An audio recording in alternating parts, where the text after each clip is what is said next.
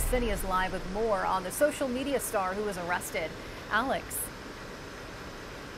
And so Eden, the rapper best known as SpotemGottem, in this case, police say he was getting dangerously close to other boats and other swimmers. We know that he was out on felony bond at the time he was arrested over the weekend. Nehemiah Harden, better known in the rap game as SpotemGottem, was arrested Sunday in Miami. According to police, he was riding a jet ski, accelerated, and began to swerve through boats in close proximity to swimmers and anchored boats. This was near the Miami Marine Stadium in Virginia Key.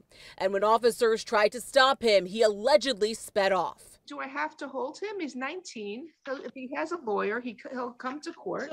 There was a bit of a tense back and forth between the judge and attorneys over whether or not Harden should be held in jail overnight. And let me ask you this: If you're on a jet ski and that engine's revving behind you, and you're going, how do you? How Judge, you, I've never been on a jet ski, but if a police officer tells me to stop, I stop.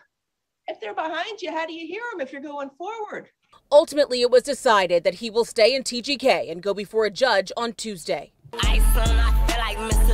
The social media rapper, no stranger to the law, with several run ins dating back to 2017. And just last year, he was injured in a drive by shooting on I 95 in Miami.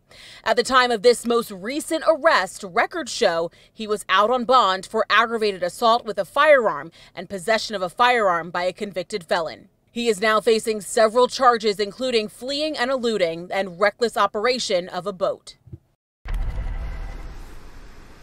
And again, Harden is expected to go before a judge tomorrow. Right outside of TGK, Alex Finnie, Local 10 News. Alex, thank you.